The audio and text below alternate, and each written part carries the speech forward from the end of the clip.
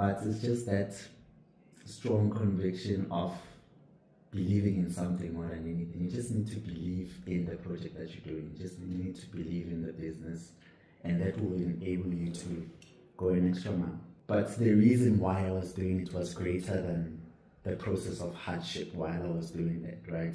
So, and I knew that if I can get the messaging and the story right, it doesn't matter what. From Corner Juta and De Beer, imini nomsindisi wesiko, umvelisi Mrango umelisi wesizwe, formerly known as Wazi Madonsela, bringing you a show about creative entrepreneurs live from the landmark that not only birth SA street culture but also formalize the street hustle.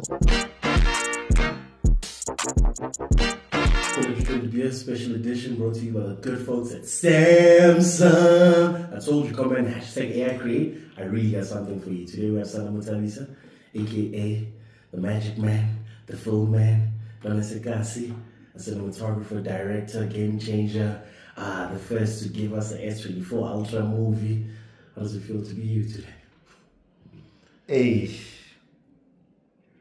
Hola my sister, sharp fele my brother.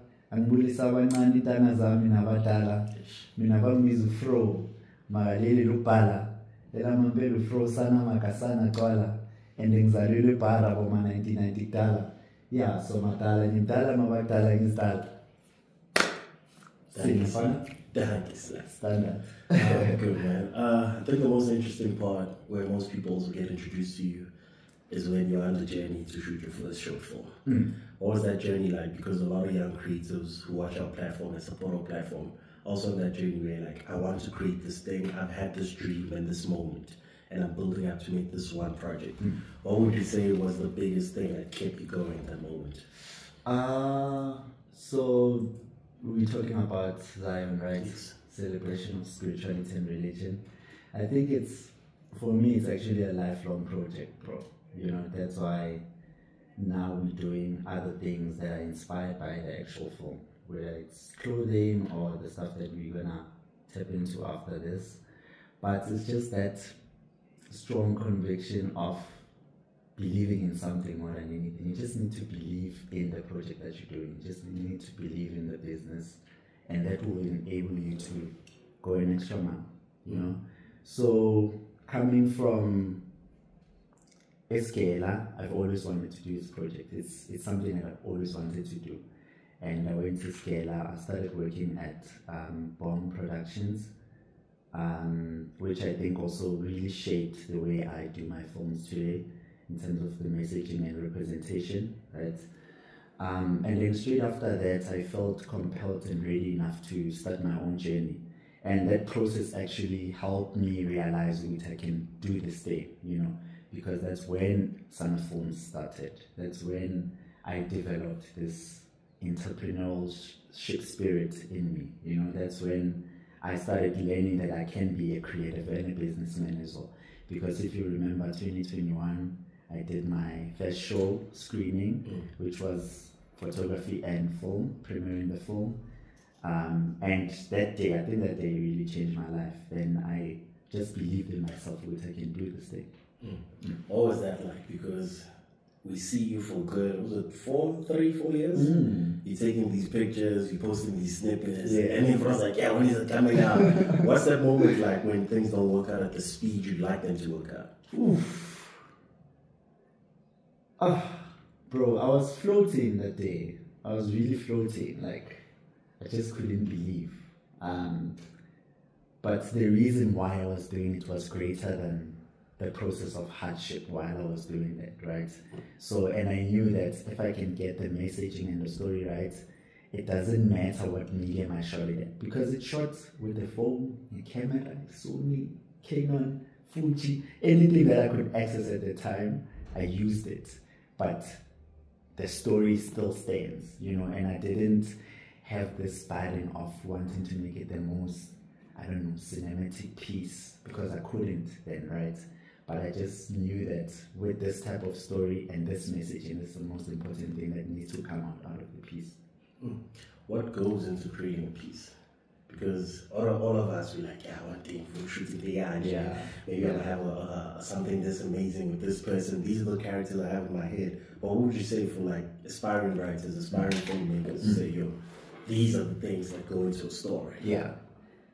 First, I think establish why you want to do the piece, the reason why you want to tell the story, right? And for me, the best writers are inspired by their environment, their challenges, their joy, you know. Um, starting from that point, I think will give you an honest piece that whatever outcomes come out of that piece, you will be happy with the outcome, right? You would be proud of what you did because it's your story. It's something that you want to tell. And script writing, you you ideate. Um, I don't like working in isolation. I have a group of friends that I know for sure I trust their opinion. I know how they see me, but I know how I see myself. I know where I'm headed. But I can send some stuff. I can send edit drafts. I can send scripts. Nasendela no um that I trust that they're gonna give me like a, an honest opinion about that. You write the script, you workshop it with your friends or you workshop it with your business partners, whoever. If it's a commercial, you work. If it's a what is this a demo commercial, also you can workshop it with people that you want to be working with, right? And um, you go into pre-production, and pre-productions are different from commercials and maybe indie films or films with kids that are coming from school, right? But that's, I think for me, that's also such an important um, stage where you need to be then aware of the reality of what you want to do, but still not keeping yourself to just that, right? Allowing the process to be.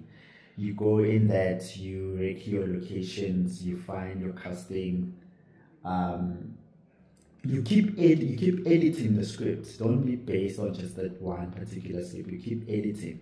You find your lead. You talk to them. How do they feel about the the piece, the story? Do they see themselves in it? How would they react to the scenes that you have? That also informs you um, more about their story because she will be or he will be delivering it, and you need that comfort also from this person, right? So you work on that, you work on your schedule, you set realistic dates, you give yourself more prep time because you're not pressured, right? It's a passion project. Um, and yeah, you shoot, shoot day, shoot day. You can't change the date, you just go. In building all of this, you then moved to telling stories via your film. Yeah. What was that journey like, and why was it important for you to shoot the film at that stage? Because Uh, you've just done this whole big thing. You had all of us come through. You had a dinner. Hmm. You had everyone attend. but everyone actually purchased to be there because it wasn't, hey, I'm just screening a thing. You said, yo, please pay to support this thing. And people supported you. In that moment, people would think you'd scale hmm. and want to go bigger. Hmm. And you decided, no, go to my phone now to tell these stories. I just decided to be, to find a device that will bring me as much closer possible to reality. I think your device, right, is our awuhambi endlini ungashiyi phone. Mm. Awushiyi phone endlini. That's the best storyteller that you can have, right? That's the best device you can have to tell a story. You wherever you are, there's something happening around you, around your community, around your friends, in a vacation, and there's this one thing that is always with you that you can't forget. Um, and then with me really trying to be honest about my stories and authentic, um, I always found myself with the phone, and I couldn't go and set up things and find cameras and, and, and, and but I just decided let me just capture this moment with my phone, you know? And I think that also helped me realize that there's a distinction between recording with your phone and a camera. Né?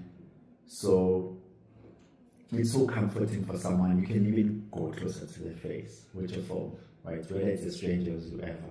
And you can even say like, ah, send it on your WhatsApp, you know? And then you actually send it two minutes after we want to see your profile picture up because of this honest interaction that happened. And you also need to build trust with your with the person that you engaging with, right? Um, I was actually finished shooting our Samsung piece yesterday, short film, and I just loved how it gave me room to move. However, right, um, the, the the tininess of the phone allowed me to angle it however I wanted to angle it, but it also allowed for honest reactions between my my two characters. Like sometimes I would give um, um, my assistant a phone, just go straight into the character, or even Biro, our cast, she would record her grandmother with a phone, you know, and it's it's so beautiful. It's not they even forget that you're in a film set because you're doing this with this device that everyone is using every day. It's not intimidating at all. How important is the right device, and when do you know it's the right device? Again, it's the story that you're trying to tell, which would lead you to the device that you need to use. You know, so for me, Nebelas, because I also love documentary. I think I really love documentary and I want to get honest moments in documentaries. I want to engage with my people as close as and as intimate as possible. So my phone it allows me that, right? And it's a conversation starter because my sharing phone, we engage, we change contacts, and then because I love because if I, I do a video with 30 different people, those are 30 different stories. I can then engage with them at the end, right? We can do a documentary on each, right? So, yeah, I think it allows me to to engage with people like that. Yeah, you've been using Samsung devices for a while. Mm. What set this Galaxy Ultra S24 about. Sheesh. Because now it's like we keep talking about this AI. What is this Galaxy AI for a filmmaker like yourself, someone who's trying to tell these honest stories? Yeah. Um, yo, yeah, it's it's been a two year journey to where we are now, which I would like to thank for Fozia actually for um, trusting and letting the process be right because we wanted to do it right. Um, I don't think I'm one person that just likes taking. I love giving as well, right? Whether I'm giving to a brand or people, I love to write my own story within what we're trying to do. So, um, and as a purist myself, I I enjoy writing the stories myself. I enjoy putting treatments together myself. I enjoy using real references, you know, um, and now starting to ease into AI, right, and what that can afford us. Um, I'm starting to un- understand that it's it's something that helps us confront our challenges as human beings, right? Whatever, and challenges can be subjective, right? If you have a problem of writing, um, there's tools, um, there's a creative gallery that can help you with that, right? And if you're finding challenges on um, doing these things, you can find tools like Galaxy AI, right? It can help you access everything and confront all your challenges that you, might have. Mm. On this podcast, we speak a lot about creative entrepreneurship, most importantly, the obstacles that face young creatives, right? Because at some stage, me and you were also just talking about, like, oh, one day in Funa, Mm. one day this is what I wish, Mm. these are the outcomes I want to do. And then we were fortunate enough because of the connections and relationships we built Mm. to meet people who can help us and guide us in certain scenarios. Mhm.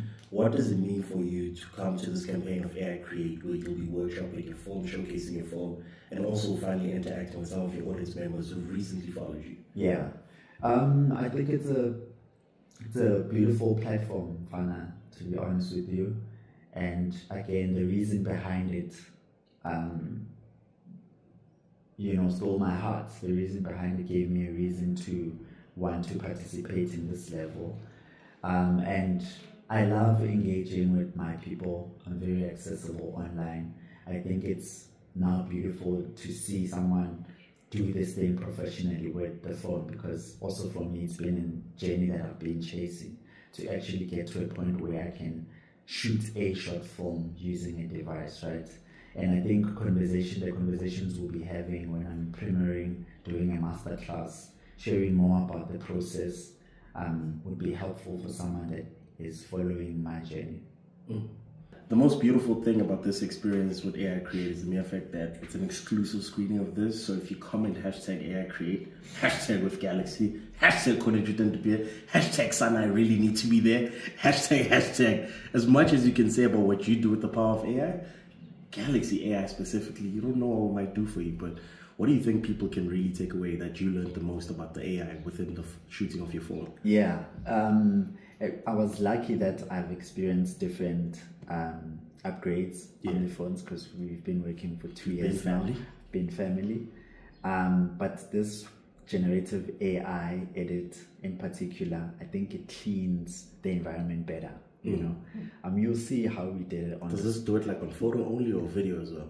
it do, does it on photo only, Okay. which I enjoyed so much. And if you want to talk about business, you can literally just shoot stuff around and submit your stuff right now to your client because you can literally edit stuff out. You can even add stuff in on the picture. You know, So storyboarding was fun. storyboarding was crazy. I'll show you some images. I'll Yeah. send you some images so you can see how we actually did the process.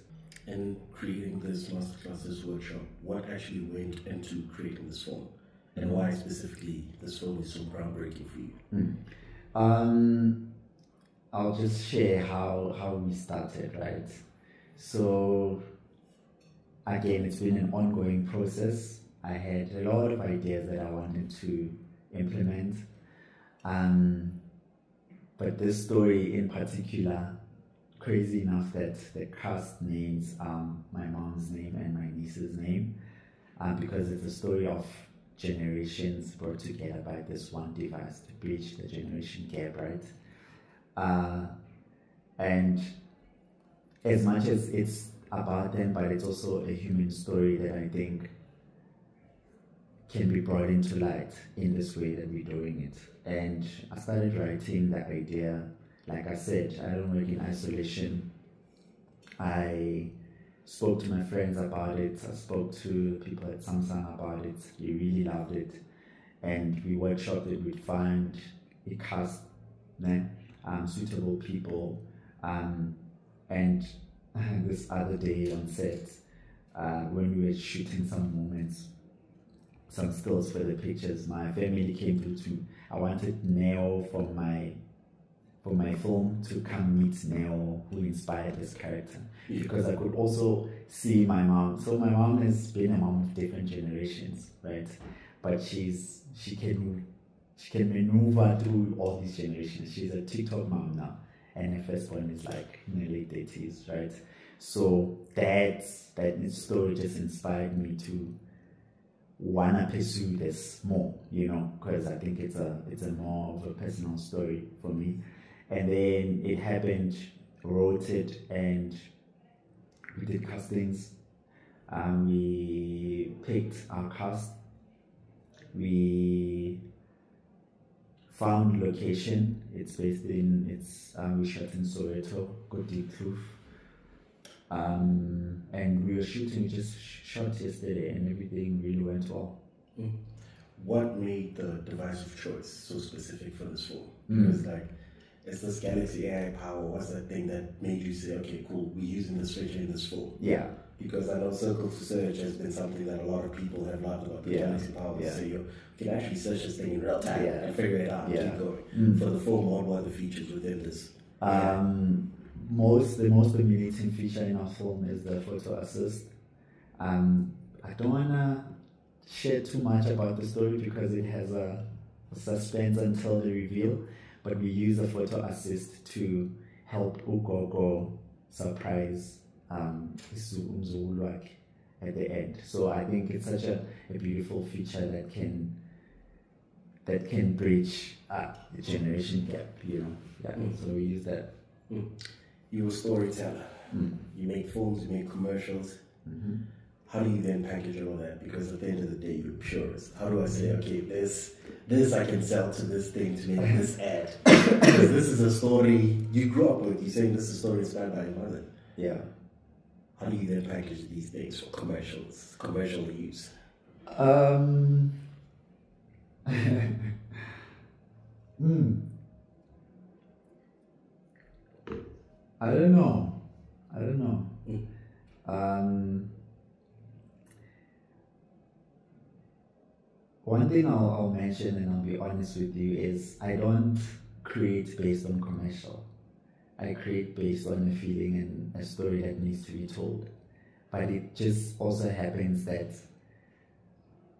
I do work with brands, right? And they see value in what I can bring, you know. Um, I don't see, I don't, I don't do setups. I just live my life the way I'm supposed to and tell stories that that I think for sure needs to be represented somehow. And then the commercial aspect of it finds me. Mm. Mm. You do Zion, you create Zion necessity. Mm-hmm. What's that transition like to say we did the phone, now we do the clothes, Yeah. now we're doing the shoes, now Yeah. we're doing this. Yeah. How's that been? Yeah, I mean, I love, I love, I love that process. I love building Fun. I love building, um, and like I said, we, I try so much to because this is for me, it's my legacy project, right? And it's something that's gonna go on forever because, um, I believe so much in that type of messaging, and I think the film then expands itself beyond just the, the medium, the film format. And I wanted to continue the same messaging using clothing, using um, cutlery, because we're working on some stuff, using everything that is accessible and tangible. Imagine a plate that is written, we thank God for the food that you're about to receive, right? I think it's a constant reminder that there's this one person that we always need to obey and pray to, you know. Mm. So I think, yeah, the brand itself is a representation of that, and it does also again it doesn't feel like a commercial even when we sell it. It just feels like us telling the story, um, and now we want to do different medium formats, Mm. still telling the same story. These different medium formats, they grow the audience. Do we ever get a Zion part two?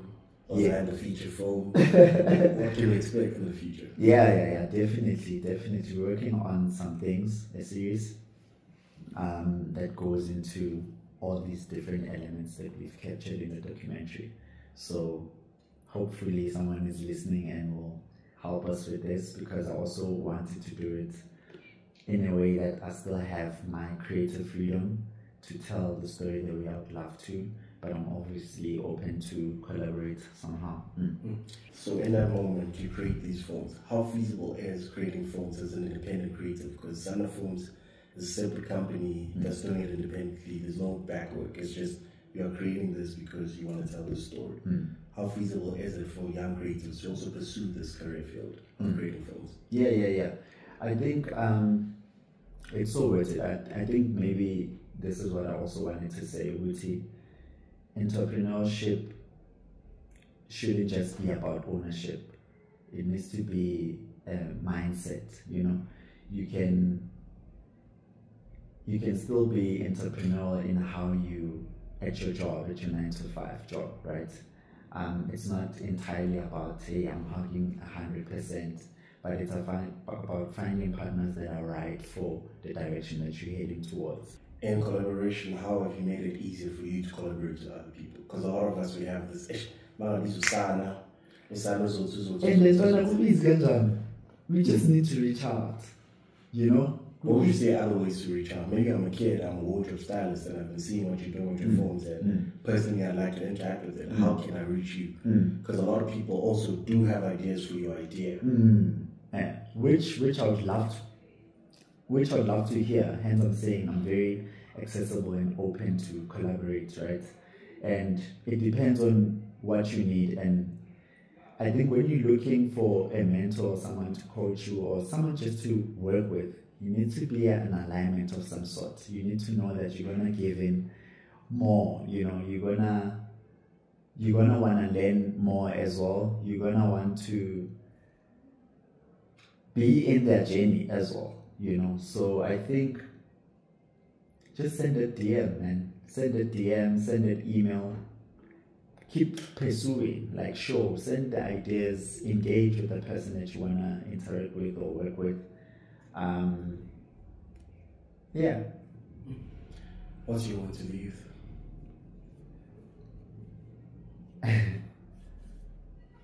Your Fana. Um, you know, Masvuga, everyone has their own mission.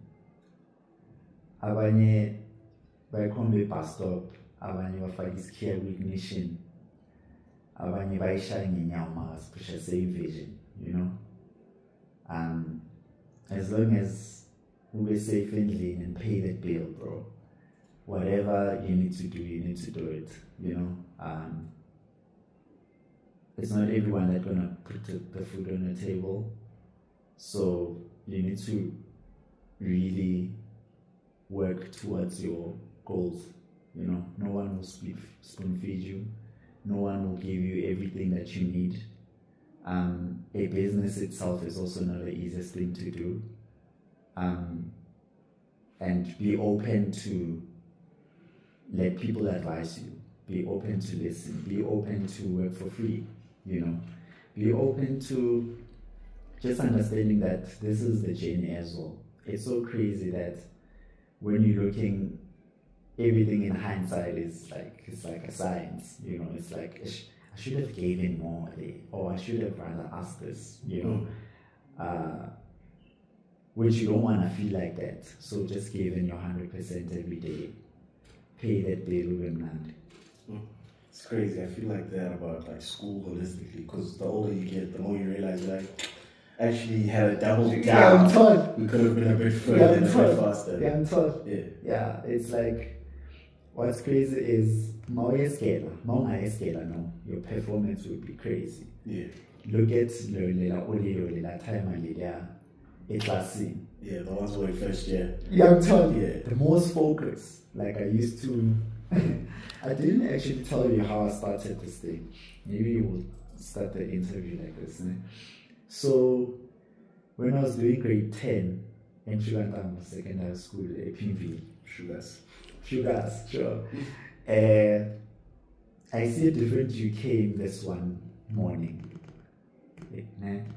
And I was late mfana ngangena eklasini and it was social sciences ngangena eklasini and one person because I was posting my photograph on Facebook fairly back then I was yeah. sishutela around the class and one person she was like why Ulimo because there were photographers go assembly you know saying um, they're gonna take school pictures you know and some people joined them why are you not here and then I went to Setlahana I was like se ho na di-photographer mo ba re ee ka ke bo mang ba re ke bo monkele brothers and obviously I went on Facebook yeah. and it's like so inspiring. Eh, and then I went to the hall. When I got there, I found they were really like taking um out yeah, yeah school pictures, right?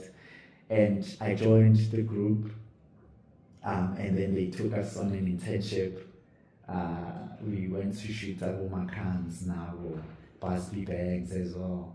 And that was so beautiful because I came back, know I came back from that weekend, I was like, yeah, this thing is, want to do this. This is me, you know. I've always wanted to do it. I think my family, we have a lot of pictures in our, we love pictures in Guinea, but as a profession, I saw it there. I was like, yeah, I'm gonna do this thing. I'm gonna tell my mom that after school, I'm gonna go get a form. Then I went to go study um, AUJ. I finished there and I found this band, Airborne Productions, working under Bradeza Mahlatsi. R.I.P. Yeah, rest in peace, man. Um, I, I think I also took from his own page, from his own book. Uh, and I was working with amazing directors as well, like Stephina Zwane, Justice Mukheli, Ernest Nkosi, Itu, and um, the research team that are I'll forever love. And I'm grateful for that opportunity because it then gave me life after that. It showed me the discipline of the industry. It showed me how I need to maneuver, you know, it showed me how to build treatments, it showed me how to tell a linear story um, it put me in rooms again with amazing people, and I still have relationships with like Mom Shelly. Um, Shelly. yeah. Shelly's mom. Sorry? Dre's mom Yeah, yeah, yeah, yeah. That's crazy. Yeah, yeah, yeah, yeah. That's my mom. Uh, yeah, actually, I'm going some fun. Yeah, I'm really grateful of the time. Yeah. Sam Talisa. Simply David. did. Brought to you by Good Folks. Sam. Sam. Away, father. Thank you, man. Stand up. We'll see you at AI Create. Away. Hashtag show be there too.